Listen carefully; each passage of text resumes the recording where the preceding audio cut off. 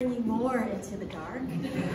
um, so um, um, I'm really delighted to be part of this exhibition. Um, this piece I have, I'm showing two different works. So you're sort of seeing the second work um, first. Um, this work is inspired by um, Ruth Asawa and her technique of metal um, metal working. So uh, a lot of you are probably familiar with that style of work. Um, when I was first invited to be part of this exhibition by Sharon and um, Kevin, it was literally one week before um, shelter in place. And they had just initially said, you know, we have this idea for an exhibition um, dedicated to uh, Ruth Asawa and her legacy. And so I started thinking about how I might want to um, um, honor um, the process um, and her, her process making. But now I'm noticing that the first video is on, so I'm going to talk about this one first, and then I'll talk about the next one. So um, this one is called On the Line, and um, it is an experimental film that is inspired by um, Japanese American women cannery workers from the 1930s in San Diego. Um, you may know that um, Japanese Americans in general brought um, the, the technique of um, bamboo um, fishing um, to the West Coast, which enabled the, the American fishing companies to catch tuna, large tuna. Before that, American companies were only using nets, and so they're catching things like sardines.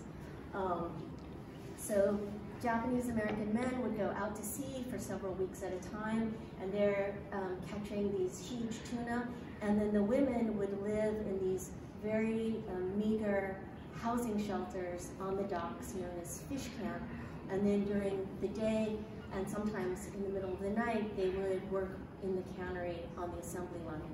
Um, and the women from Japan and women from Mexico were given the most dirty work in, on the assembly line. So they were interacting with fish guts and their, their clothes were always covered with, muck and those sorts of things. Um, and um, I found out about this one particular woman who owned a diner, a small restaurant, that was between Fish Camp and the cannery. It was the only building in the surrounding area. And she was quite distinctive. Her name was Isa Shimoda. Um, she was masculine in appearance. She um, was a specialist in the art of naginata, which is a, a, martial art form practiced by women in Japan that involves a large stick with a knife at the end. Um, and she actually performed in the World's Fair Expo in San Diego, um, I believe. And um, uh, challenged men to sword fights, but um, apparently didn't always win. Um, and um, so she's she's distinctive for her sort of I, what I think of as butchness or at least gender nonconformity. Um, when she was incarcerated um, uh, by the U.S. government, um, she actually has two sets of wartime records, one identifying her as female and one identifying her as male. Now, I don't think that she um, thought of herself as transgender in the way that we think of that today. Um, I do think that her gender nonconformity might have been um, interpreted or read as male. Um, and so it was in the exit interview that she was identified as male. And if you think about how people are interviewed in person, if you think you know their gender, you're not going to ask them, what is your gender? Right? You're just going to check the box. So that's sort of my theory about how that happened. But to me, um, learning about her and her story was really exciting to just think of someone who was gender nonconforming or non-binary or masculine center or any of those sorts of things. So I started to think about her restaurant as this place where women could go, um, they could relax, they could enjoy sake and um, and dance, perhaps with each other, perhaps have crushes on each other, um, and um, at the same time, um, you know, with the acknowledgement that their entire lives were surrounded both by water And when they were on the assembly line, they, the, the sounds of the, the, the machinery would literally become part of their body. So to me, this film is about trying to capture what I call the space of queer inhabitants, or um, capture the, the, the, sensibility, that is the, the sights, the smells, the sounds of what it might have been like in the 1930s. Um, and to make this film, um, I visited um, the Japanese American Historical Society, where um, Issa Shimoda's collection resides. Um, I visited the sites of the canneries. I also shot a bunch of footage um, at the Monterey Bay Aquarium. I went to fish markets. I bought a lot of um, uh, fish things and I, I, I, slid them down glass and shot it from below. Um, and then I also used archival footage from the Center for Asian American Media's home movie collection.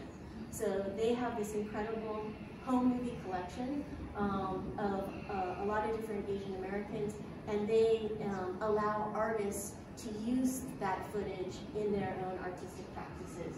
So most of the footage that you see of um, the men fishing or here the women laughing um, is all from that footage.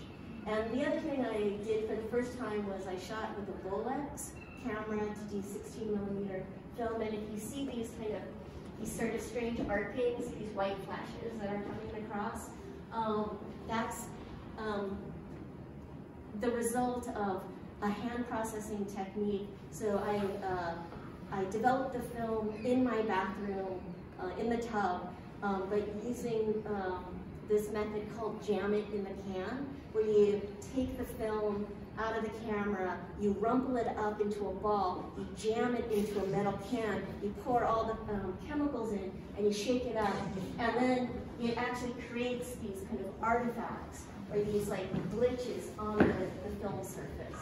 Um, and so I was really interested, I'm interested in how glitches um, sort of um, are another way of reminding us of, of the kind of um, fissures or gaps in memory and history. Um, and, um, and so that's what that film was about. And then now we're back to the wire sculptures. Um, so I, um, my ambition was to try to teach myself um, Ruth Asawa's metalworking technique. And I, I, it was good that the, the exhibition was delayed because I actually had three and a half years, uh, two and a half years to work on that. Um, so I, I taught myself, but using very simple hobby wire. You know, Ruth Asawa used a lot of really heavy um, wire that can hold its shape, and I was using very thin wire that doesn't hold its shape very well. Um, and I started to think about um, her forms, but I was also thinking about the forms of fish and fish drying and the, the form of an abstracted tuna, for instance. So I, um, I arrived at this form, which I think of as, um, as, as a fish form. It also could be a teardrop. Um, and um, over the summer, um, I, I had made about 400 of these. Um, and I had the great fortune of working in this gallery in the, the few weeks that it was closed and I installed um, uh, the wire forms um, and then was able to video them. And, um, and then what you're seeing here is, um, is the image inverted. So you're seeing, um, you know, it, it, was black wire or silver wire um, shot with light. and I reversed the image so that you would see a kind of ghostly presence of, of white light. Um, and um, so this is on a, it's about three minutes worth and you know, the idea was that maybe you would encounter it, it would look like a still image, but then you might notice um, some slight movement. Um, and it might resonate with some of the other imagery that you saw in the film. And then this one, oh, you're seeing it right when my cat is, know. So this uh, one is actually, um, I have these pieces also in my house. Um, and um, the, what you're seeing is shadows of the sculptures um, that are cast onto a, a wall. Um, and the, the color of that imagery is from the sunset. So the oranges and the blurriness, it's sort of clouds passing across the light, and then the sunset, and then I have a mischievous cat who likes to interact with artworks, and so jumped up and walked across, and so you're, you're sort of seeing that. Okay, so I think that's it. Uh, so now we're back at the beginning of the. So, anyways, I just again want to thank um, thank Sharon and Kevin. And,